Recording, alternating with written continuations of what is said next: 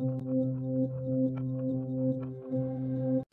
everyone, Paul from OPEX Fitness Bristol here, and we're back again with another coach's conversation. It's pretty safe to say that gyms won't be open for a while yet, but this doesn't mean that you can't improve your fitness before gyms reopen. In today's conversation, our coaches will look at what training might look like in the future and also their five ways to maintain your fitness until gyms reopen again. So remember, if you like this video, please slap a like on it, click the subscribe button, and check out all the links in the description box below. Hey guys, and welcome to another coaches conversation. Um, we've had an announcement recently that uh, gyms are going to be closed for at least seven weeks longer. So, you know, we've had a lot of questions kind of come to us of again, like how can I stay healthy and fit in the time until the gyms reopen? So, we kind of wanted to have a conversation and give you some ideas that actually this this is still a time where we can have a, a huge amount of opportunity to to help us in this. So joining me to talk about this today is uh, Milo and uh, Andy. Um, so let me uh, open it up to you guys. Kind of, how are you feeling about the uh, the announcements of uh, gyms not being open for the next few weeks, Milo? Uh, well, I think and this year's a little bit disappointing because it had been quite exciting to go back to the gyms, but then I've also realised um, the actual the other challenges and enjoyment in life, and what you can do more without having to to spend the time going to the gym is actually, you know, it's quite enjoyable. I feel like I fit more into my life now, and I don't think my fitness or my health has had any repercussions because of it. And I think now we have less excuses than ever for our nutrition to be, you know, our nutrition's good. You know, we, we have the time to exercise. And I think for me, it's only laziness that will cause me not to do that. Mm. Yeah, there's still definitely a lot of time and convenience to be able to do this, isn't there now? Yeah. Um, we do. We have lost a, a, little bit of an aspect in the sense that we don't have the physical location, but there's still we still have all the other resources we need to be able to make this happen, don't we? Andy, what are your thoughts?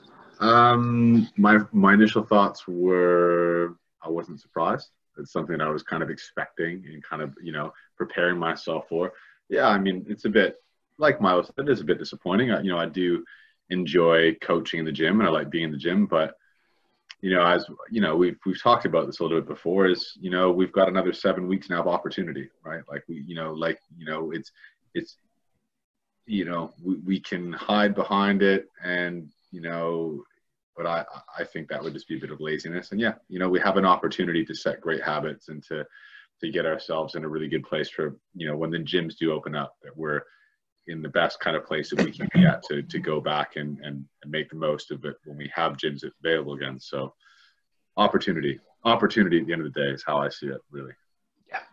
I think, you know, having spoken to a lot of other um, trainers and, and, gym owners as well, is like what we know is that even when gyms do open, it's, it's still going to be different to how it was before we, we left essentially, isn't it? so this is a great time I personally think that you know we can be working on those habits that maybe we working were working on before, but we're definitely going to be wanting putting in some good habits and things in place now because we need to be carrying that over into the new world into the gyms. Mm-hmm. Um, there's definitely going to be some element, I think, for many people of a hybrid program of still wanting to train at least partially at home as well as in a gym, purely because gyms' capacities are going to be massively reduced by social distancing. Um, so with that in mind, guys, let's let's kind of open that up. If if we're gonna move into this new world, and we're gonna get prepared to move into this new world, and we're gonna utilize the next seven weeks to stay fit and healthy, let's start going through some some things that we know the the basics to kind of keeping that going. Um, Milo, why don't you start us off? Um, yeah, I think one of the first things that is kind has become quite apparent is just keeping that structure and rhythm to our lives. So you know, before we'd always would be going to work, we'd be coming home at this time, we'd be doing gym at this time. Now that we've got a little bit more flexibility, I still think it's important to keep that structure. You know, we have body clocks and our lives disrupt them. And I think, you know, when we don't always feel 100%, um, I think we think that's normal, but feeling 100% is normal, not, not the opposite of that. And I think if we start working with our, with our body, and that means, you know, sleeping and waking at the same time, having meals at similar times, you know that structure is going to keep us consistent and that structure will keep us healthy. Yeah 100% and again like we've obviously had so many conversations around motivation as well like beyond the the biological aspects of what rhythm does to us. Like the motivational aspect of it is huge isn't it like just having consistent times to exercise eat decent meals, cook food, um, and just have a good. Because I think you know we've all had conversations with people where work-life balance at the moment has kind of gone out the window because there's there's you don't kind of turn up to that second location anymore and do work and then go home and stop work. You're now your your living room is your office. So if some people are going till 9 p.m. or be kind of beyond now. Yeah. So yeah, I think rhythms rhythm for for me especially is absolutely number one because everything else is kind of built off of the back of that, both from like a health perspective, but also from like a habit perspective. Mm-hmm. So yeah, great point on that, Milo. Andy, uh, give us another tip. What's what's next? Well, um, just briefly going back and touching on what Milo said and, and what you said with the rhythm, I think, um, you know, why, to me, I think why it's important to do that is because, you know, we, we tie it into motivation, but we can't always be motivated. But at the end of the day, when, when motivation fades, you know, drive or will fades, or we have a bad day, what's left? The only thing that is left is habit. That's the only thing that remains. And so if you, you get into that rhythm now, it becomes second nature. So it doesn't become something that you needed need necessarily to stay motivated for all the time because it's in your second nature and it's your habit that you built through this time we have now. Um, but moving forward from it, I think you know another thing that is really important is you know things like simple things, staying hydrated, for example. I mean, now you you have your workstation and you can you have a tap presumably within probably 20 feet of where you're working like drink water stay hydrated as i see milo doing right now right on cue like it's just so you know it sounds like such basic stuff but staying in a rhythm and staying hydrated talk about wanting to feel 100% like that's going to go an awful long way into you feeling really really good and 100% and when you feel good everything else will fall into place so yeah uh, yeah I think that's. Yeah, I know. we've all worked with clients who, who have, um, you know, come to us and we've we've spoken to them about getting a little bit more hydrated, and suddenly two weeks later, once they've been getting in two liters of water a day, they're suddenly feeling so much better. Yeah. You know, it's one of the simplest habits that we can do, yeah. but it's so effective. And I think there's a lot of people out there that don't realize that they're just a little bit dehydrated all the time. Yeah. Well, and you know, and that that leads into like it kind of, you know, we it's funny, you know, the more we have these discussions, the more I see it all tied together and, and how they're all related, right? So people say, okay, so if you get into a good rhythm and you make good habits, you know, it becomes part of a routine and it becomes easier to complete your tasks and have a sustained kind of routine throughout the day, right? If hydration isn't a part of it, you know, so many people go through this energy dip at two o'clock, three o'clock, or into the evening when they're wanting to train after work and they're exhausted. But a big reason why they're exhausted is because they're dehydrated. It's not because they haven't eaten or they're just they have a really strenuous day. So you can see how all this stuff starts to tie in. You know, you stay hydrated properly, it follows into everything else. That energy stays the same. It's easier to then stay in a rhythm. It's easier to build those habits and to train. Um, you know, they all are just together. You know, they just do this and yeah. for anyone who's just listening, putting my hands together. you know, like we we talk a lot about digestion and chewing your food, and like it, the connections often they aren't made with like hydration. Like hydration is so important for our digestion. For our digestion, like when we're talking about I mean, again, let's think about body composition. So staying lean, keeping a good bit of muscle mass, staying nice and toned. Like we need to feel satiated and we need to have consistent energy to make good decisions. Because if we have an energy crash, like we're all reaching for the sugar. Like I did it yesterday. I, I uh, went and did some work. We were uh, we were painting the gym, and uh, I ended up like three hours post my intended meal time with unable to get food. Blood sugar was so low, and I went straight for the sweet stuff. Yeah. Um, so you know, in all of this, we're just trying to keep consistent blood sugar, like keep digestion well. So like staying well hydrated not only just keeps you energized, but it just helps you actually absorb and utilize nutrients consistently through the day. I think. Um, yeah. Sorry. Sorry. Sorry to jump in, um, Danny. But I was just on what you're saying. I just it's just hitting me more and more actually. And like like I had a conversation last night um, with my father-in-law actually, and he was the context was different, but but the overall message was making decisions and doing the right things and the knock-on effect that that has way down the line that you don't even necessarily put together. So, you don't stay hydrated throughout the day, right? You work, you have that energy dip. So that energy dip affects your training. So maybe you don't do your training or your training isn't as quality as it might be because you've been dehydrated, your energy's in the toilet. You then either don't do that session or you half-ass that training session, right? You're feeling more tired after that. You get, you know, if you're if but the gyms are open, you coming home from the gym or work, that's one thing. Or if you're just working from home now, even that finishes, and then you sit down, and you think, right, I've got to make dinner now. Right. And that's a daunting task because you've got no, you your energy's in the toilet because you, it all started because you were dehydrated. Um, and then funny old thing, you know, you don't, it's a daunting task to make a good meal. So what do you do? You pick up the phone and even in lockdown, we can still order a Chinese and you go, right, I'm just going to order Chinese then because I just can't be asked to cook dinner because my energy's in the toilet, all because I maybe didn't start my day with a glass of water and then keep that habit going throughout the day. And it's like it's not an it's not immediately obvious to people, but that has such a knock-on effect. You know, it's it's like such a big deal. And I guess the last thing I'll say, because I am aware that I'm rambling a little bit, is that um, I think our challenge sometimes as coaches is is getting people to understand. You know, they say, okay, how do I stay fit during lockdown? And they are thinking sets and reps and protein intake, right? And but little do they know that there's these simple wins that they can make that will make a massive difference in their body composition and how they feel and their fitness.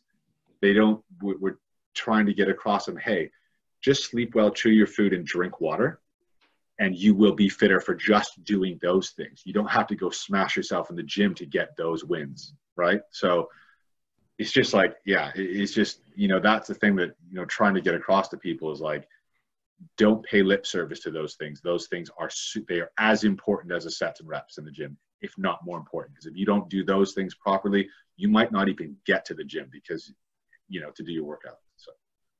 Yeah, I mean, you're right. Like what we always refer to as the basic lifestyle guidelines, like they're not sexy, they're not interesting, they're, they're not they're not keto or you know the the latest macro split or like this special training program, but but they are the thing that win long term.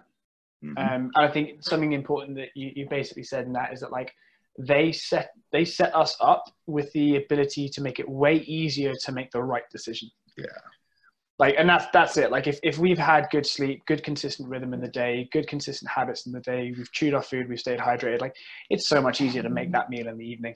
Yeah. Like it's because we've got energy.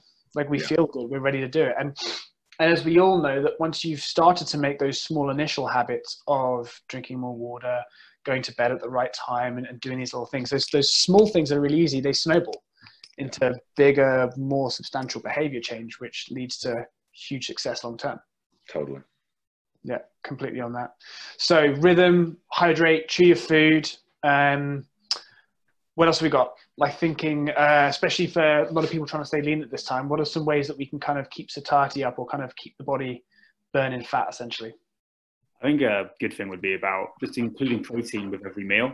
I think you know one of the points that Dan just touched on there is that you know when we eat protein, it's much more satiating and makes us feel longer than mm-hmm. than the other foods that we we could eat. Mm-hmm. And I think another thing is actually you know can kind of boost our meta- metabolism because it actually takes a little bit of energy more to actually digest and assimilate and use protein than some of the other like carbs and fats. Um, and I think you know it doesn't have to be complicated. You just got to think if you if you can add a portion of protein to each of your meals, you know that's that you've won half half the battle there. And I think it's sort of shown with you know, some of the people that I've started working with since we've been in lockdown, we've just been working on the basics, like all the other points that we've just been speaking about, and then just including some protein with every meal. And then if you see the results on the other end, over the last sort of two months, you know, every two weeks, they've just been getting consistently just losing the weight, which is, is what, what their goals are.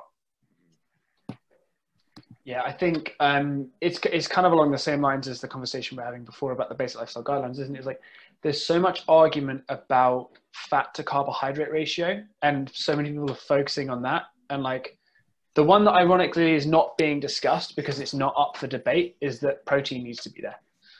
Like, and we need to have enough to have the raw materials to keep the body moving, but also to sustain activity, and keep us satiated.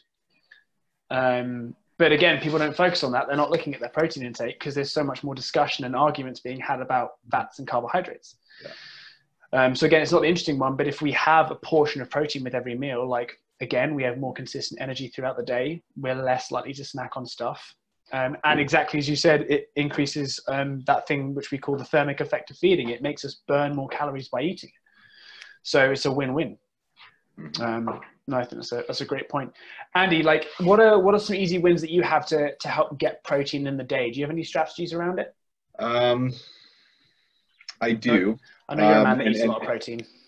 Yeah, I mean, so I, I do. I mean, well, I'm gonna I'm gonna uh, I'm gonna take it back here a little bit. For me, um, I've long since established that habit, right? So for me, it's like it is is just an assumption and a habit that I'm going to have some protein at every meal, and I would feel a bit funny if I didn't. That's not to say that you know having just a salad is a bad thing, because you know I would never say that. Um, I think it, it, depends. You know, people are really different. I, I have a couple clients, for example, who they really find a lot of value um, having a shake you know, have having like a super shake that they add in, and maybe they'll add in a little bit of protein with it, um, and it just works for them because maybe they're on, you know, the thought of them eating a really big, heavy meal first thing in the morning is a really difficult thing to face, you know. So they they they they have a shake, um, and I think another one that works really well for me personally. Um, we bang on about it sometimes, but is something like meal prep. You know, I do think that you know, I have a tendency. Now, I'm someone who doesn't mind eating the same kind of form of protein a couple meals in a row. So maybe if that's not you, this might not be the best thing. But you know, I'll find that if I'm going to make a chicken breast for lunch, I'll make two or three of them so that I have that in the fridge because it'll last a day and I know it's there and it's a cooked chicken breast and I can just bang it in the microwave with some veg or something like that. Um, and it's just a very simple way because I think I think one of the problems for people is they're not as organized, they don't meal prep. And so to go and have that serving of protein, a lot of the time they've got to cook that protein. And it, and it becomes a more time consuming thing and it's it's a more daunting task to do. So I think being organized, meal prep is important. And don't, you know, I've had a lot of questions about it specifically lately.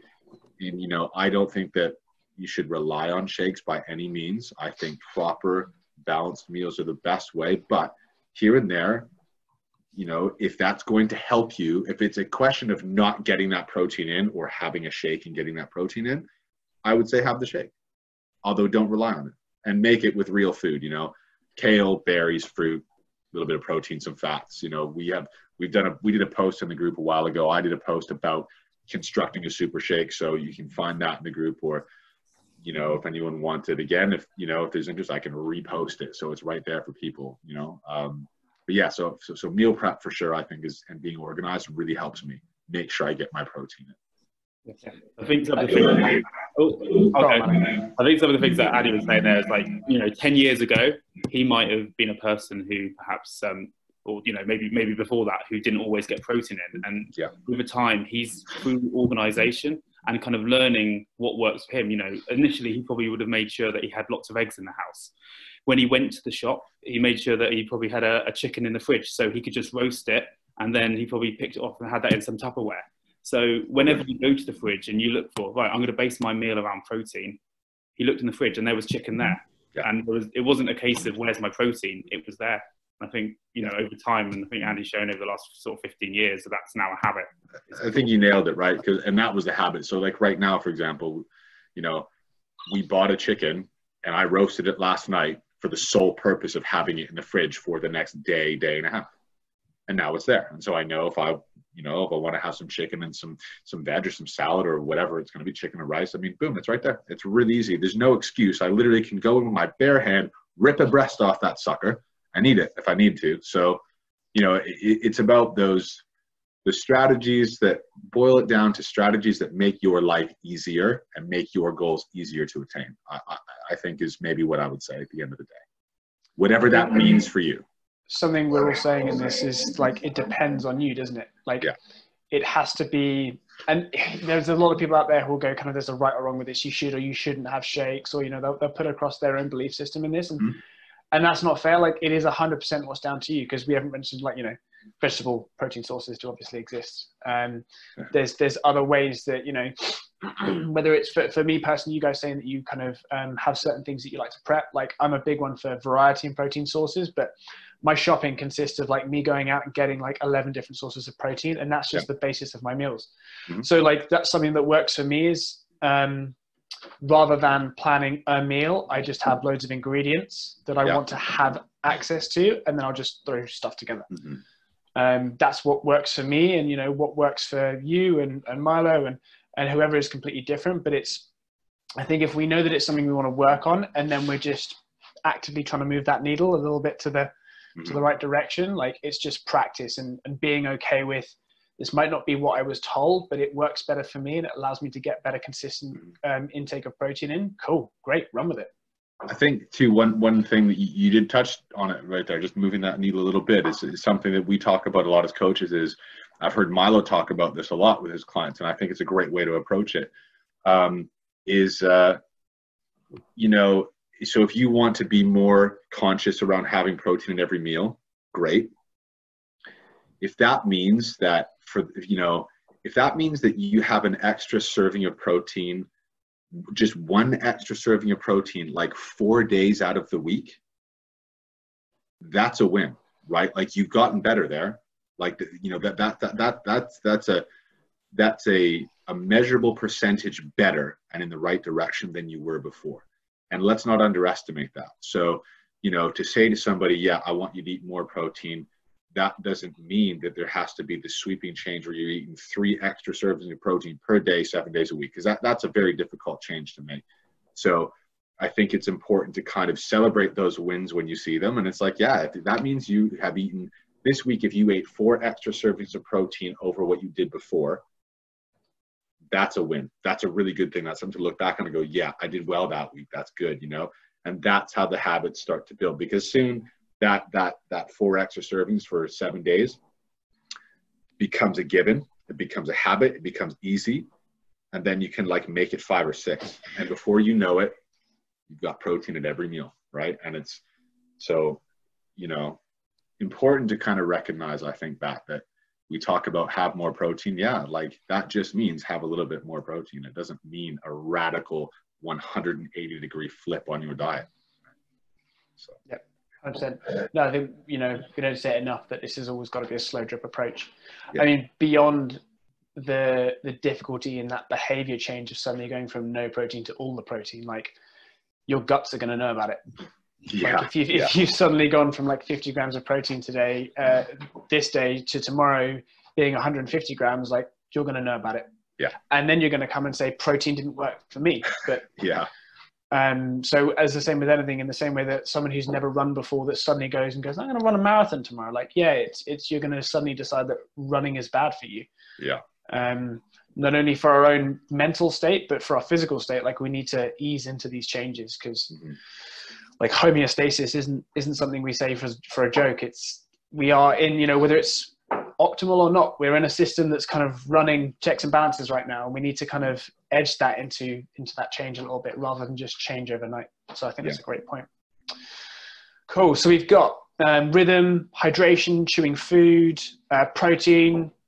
Um, what about kind of movement? What are you guys thinking around um, kind of exercise and activity over the next seven weeks think it's just about you know having that base of just walking every day. I think because you know if you can get doing that consistent and then do anything on top of that, that's amazing. And I think you know although walking doesn't seem like that much exercise, it's more than you think, and it has a lot of like other benefits, such as you know like whenever you know I've been working for a while, I'll just go out for a half an hour walk. You know it's very stress relieving. It gets me away from sitting on my sofa walking all day, and I think you know at the moment when most of the days are quite sunny, it's quite nice, and I just sort of use that as the base of your fitness. Yeah. I think that's a great point. I think, you know, walking, huge, you know, big one. Like if you can get out for 30 minutes to an hour every day, um, especially as the weather's been very nice lately, that's such a huge win. And then on top of that, um, when it comes to movement and exercise, I think, you know, that's the sexy part. That's the people where their minds always go and they think, okay, I, I want to stay fit and maintain my fitness. And that's good, you know, and, I, and that's important. But I think there's a, a couple things that we need to do is like, you know, accept and understand and adjust perhaps any expectations or what you're thinking when it comes to that exercise because you know uh, most of us are more limited now because we're training from home um, and and i think you know having some understanding of what movement means um, and exercise means um, and what it doesn't mean. So it doesn't mean that you have to find a way to annihilate yourself. Moving for 30 minutes a day walking and then on top of that like 30 minutes of just some resistance training or body weight resistance training or anything you can do like you know if you've built up a certain level of fitness you know it doesn't take it doesn't oh. take too too much to maintain at least that level of fitness while we're in this state. And then when gyms do open if you're a power lifter and you want to get back to powerlifting wonderful. But if you can't power lift now, understand that walking and moving an additional 30 minutes a day with some body weight resistance stuff will go a long way in helping maintain your gains or you know where you're at for when we do go back to the gym. Yeah, and again, when we're talking about how all these things are interconnected, like from personal experience, um, especially during the lockdown, um, we need activity for sleep. So, like our, our daily activities uh, connected to the production of this thing called adenosine, which is is something that basically builds this sleep need. If we don't have enough of it, we can't go to sleep. Um, and walking is a great thing that we can do to get that activity up. But you know, we talk about rhythm and um, and I was nailing it. Like I was, you know, I got up at the same time, had my 90 minutes before bedtime, cool environment, dark, no blue lights, all of this, and then I'd lay in bed for like two and a half hours with my eyes open, just like yeah. Why can't I sleep? And it wasn't until a couple of days later that I was like flicking through the data on my Apple Watch going, oh, I've only walked like 3,000 steps the last few days. Like I've just been really busy at my desk. And especially for those who are still working and potentially working more during this time, like recognize that activity for the rest of all of this stuff to work, we still have to have that kind of minimum of activity in the day. Um, and that, you know, that for me, that's someone who was still exercising per day, but my overall activity had just dropped off a little bit. And then weirdly, the next day I walk 8,000 steps and suddenly I'm off to sleep like that. Yeah. So these things are hugely connected. And I think, um, you know, something we haven't mentioned because other than where you are, Andy, in the lovely sun, like it's not so sunny right now, but um, getting outside in the sun is also mega. Like to get that vitamin, uh, that vitamin D, mm-hmm. not only great for that rhythm of the body, but also great for immune function and just how the body operates. Um, so I think yeah, consistent exercise, like we're saying, get outside and walk. But yeah, do do get some exposure to light because, especially yeah. if we're in this kind of ongoing lockdown, like we need to we need to see the sky sometimes, just yeah. for for not only mental but biological health. I think. Yeah, totally. Yeah, cool. All right, so we've got uh, rhythm, hydrated, chewing food, protein um, getting outside, kind of moving daily, getting some vitamin D, getting just activity. Anything else you guys can think of? I think um, you know one be about hiring a coach. I think you know you know if you're finding something tough at work, you get help from your colleagues. Um, you know if you're having struggle with looking after your kids, then you've got the, your family to help. But you know when it comes to your health, we're always sometimes a little bit more reluctant to get help. Uh, to get help um, and it seems strange because if you if you are healthy, you can do all of those other things better. So I think you know when you're struggling, you know you can get a coach to help you and take your training off your hands, support you nutritionally, yeah. and also kind of give that accountability that you may need. I think in some ways it just sort of it takes off your hands and just simplify things. And you know you see a lot of people out there who have been trying to lose weight for ten years, and you know if you know, this might be a way of actually kickstarting it and actually speeding up that process because mm-hmm. realistically, maybe if you don't, it might just be another 10 years of the same. Yeah. Yeah. I think uh, as well, I think following on to that when it, when it comes to, you know, uh, the accountability is huge, you know, motivation and having someone that you can lean on a little bit when you're, when you're struggling is massive. And also, I mean, you know how many people are out there thinking okay they were avid gym goers. Now they don't have the gym anymore. Maybe if they're lucky, they've got just let's just say they've got a 20 kg dumbbell, right? Or, or some bands, or or even nothing. Coaches, a professional coach, we can look at that and go, "Oh, there's so much we can do here from a fitness standpoint." Whereas most people, because it's not their job, that's not what they do, they look at it and go, gosh, I, I can't really do anything with a 20 kg dumbbell. But we know that there's so much we can do. There's so much variation. There's so much, so much great exercise to be had just from that or just from body weight. And, and, and, and you know, we can make those adjustments and manipulate tempo and all these types of things to give a great workout. So, you know, I feel like, uh, you know, this is something I wrote about a little bit, you know, recently is, you know, every, every you know, I worry sometimes that we're getting into uh, the death of the expert, and everyone is becoming a generalist, and everybody has some little bit of knowledge, and so they think, okay, I, I can do this on my own. But you know, there's professionals in fields for a reason, and this is what we do, right? Like we exist, really, like we're here for this time, for this time of uncertainty when people aren't really sure what to do and we can really, you know, coaches. I, I, keep saying we, a coach can really help with that. I think so. Beyond just the motivation and, and the support, and literally just saying, here's what you can do. Here's here's everything you have on offer, just based on what you have in your house. You know, um, where you know many folks don't really won't see that, but we do. So I think there's a lot of uh, a lot of benefit to hiring to hiring a coach for sure. I think, I mean, even you know, there's a reason that even all of us either have or do currently work with a coach. Like, yeah, having having someone else's um, set of eyes on you or their opinion or like, and and a good coach is a good problem solver.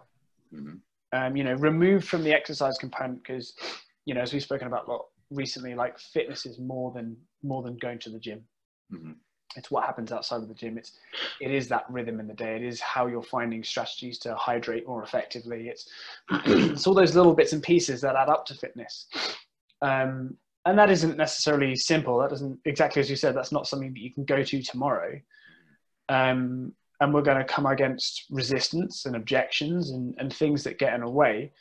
And sometimes it's nice to have someone who is a health centric problem solver you can go, cool, let's let's have a little discussion and, and here's some strategies that you know I have in my toolbox and maybe we can collaborate together on on a way to overcome this and move you in the right direction. Um, beyond, I think even you know a lot of people just giving you the here's here's the program you're going to follow. It's having someone that's in your corner, um, guiding you out of this stuff, isn't it? Absolutely. Yeah. Yeah. Cool. That's the perfect amount of silence I think to leave that on. Um, no, I, I, think that's that's a, a, great amount to to help people kind of people move in the right direction with that. Like um, rhythm with kind of sleep work, even meal times, just having consistency in day is going to be is going to be mega. Um, staying hydrated, chewing your food, you know, keeping digestion and energy consistent through the day. Um, if you're not already starting to try and push protein into like more protein or consistent amounts of protein into your meals as you go through the day for better satiety, um, keeping you fuller for longer. Um, getting outside and moving, like move more in the day, see the sunshine. Um, and if you want to go that, that extra mile and, and kind of tie this stuff together, like, yeah, hire a coach, whether it's us or someone else, like get someone to help you on this. But, you know, we talk about maintenance. I don't see why, if you're nailing those things and you weren't before lockdown, you couldn't come out of this seven weeks when the gyms reopened fitter than you were. Fitter than you were, absolutely. When you Without were in a gym. Absolutely. Um, so no, I think that's I think that's great. Um, thank you guys for for joining me and going through that. Um, to everyone listening, I, I, hope you enjoyed that. I hope that kind of gave you some information um, that was useful. If you have any questions, do uh, do send us a message, drop us a comment. Um, if you like, you know what we're saying, please like, share, subscribe, um, and yeah, any questions you give is always kind of what's guiding us to our next content. So uh, let us know. Brilliant. We'll leave it there. Thanks, guys.